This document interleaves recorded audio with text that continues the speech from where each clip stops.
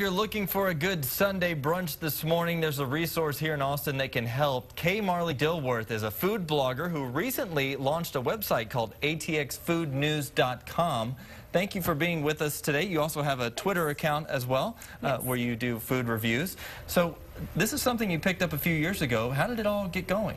Well, I've been blogging for quite some time. You know, you start out just blogging for friends or family Sure. or whatever reason. And my friends always called me for, uh, you know, any ideas of where to go eat for food. You know, just if I'm taking grandma out for lunch kind of thing. And so I, I have had passion for local food. I have a passion for local business, and it just kind of all fell together. And then with Twitter, uh, my Twitter feed started in 2009, and I've used that extensively just to get the word out about Austin's great food. Which the Twitter handle is the same. ATX Food News Mm-hmm. Yes. is your Twitter Twitter handle and the uh, website.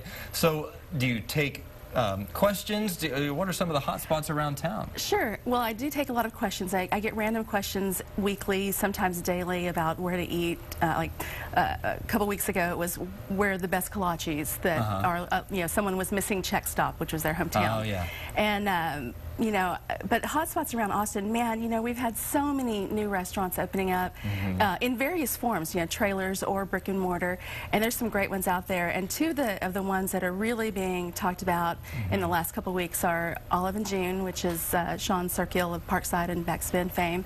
Um, that chef can do no wrong, uh, it seems. And uh, also Lenoir on South First. Uh, Todd Duplechan is the chef there. He was recently of um, Trio at Four Seasons fame.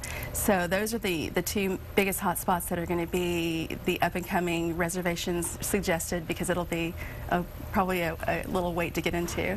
Now, do you consider yourself a, a food critic, or is this just kind of a referral where you know you just kind of Oh gosh, you know that's bloggers and food food bloggers. We always try to avoid labels, but um, definitely, you know, I think everyone's a food critic because if you go out to eat somewhere and you pay, you know, thirty-five dollars for one you know meal just for yourself Sure. and you think oh I could have done better at home you know you're being a food critic Sure. but um, I do I do some food reviewing I do a lot of um, I do a lot of suggestions is what I like to think of it as Right. you know I like to point out where you can get local craft beer I like Mm-hmm. to point out the little you know out of the way dive spots that have been around forever so a little bit of critiquing you know reviewing a whole lot of just loving Austin and its food and beverage industry And so I'm sure this obviously keeps you busy because you're running around town. I don't know what just happened there, but uh, you're running around town. And uh, how do you um, do? You just kind of monitor what's getting buzz?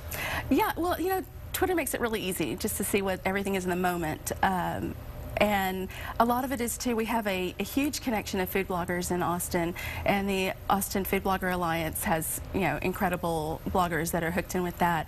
And so, you know, there's this network in Austin of great resources. Uh, I like to think I'm one of them, but I'm by no means, you know, the best or the only. But, you know, you can go to, you know, even our local newspaper, you know, Relish Austin has incredible tips.